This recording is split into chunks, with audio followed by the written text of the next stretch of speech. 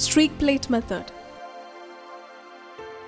Streak plate method is a pure culture technique which helps in isolating desired colonies from contaminants.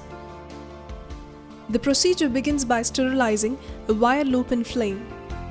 Cool the sterilized loop by allowing it to stand for a few seconds. Dip the loop into a sample containing a mixture of bacteria.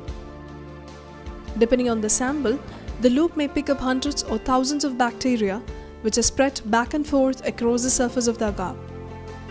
Make a uniform smear with the inoculum at the edge of the plate.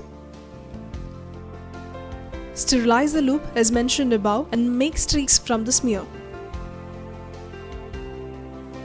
Since there is thinning of inoculum during streaking, isolated colonies are formed at the ideal streak point where the spreading has separated the individual or group of cells at locations where they can form individual colonies.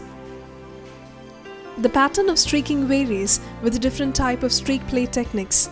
For example, quadrant streak, T-streak, etc. During the incubation, the bacteria multiply and produce colonies.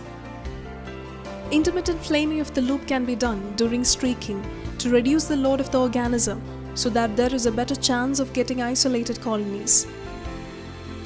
Keep the plate covered as much as possible to avoid contamination. While streaking a section of the plate, try to keep the inoculating loop in contact with the surface of the agar at all times.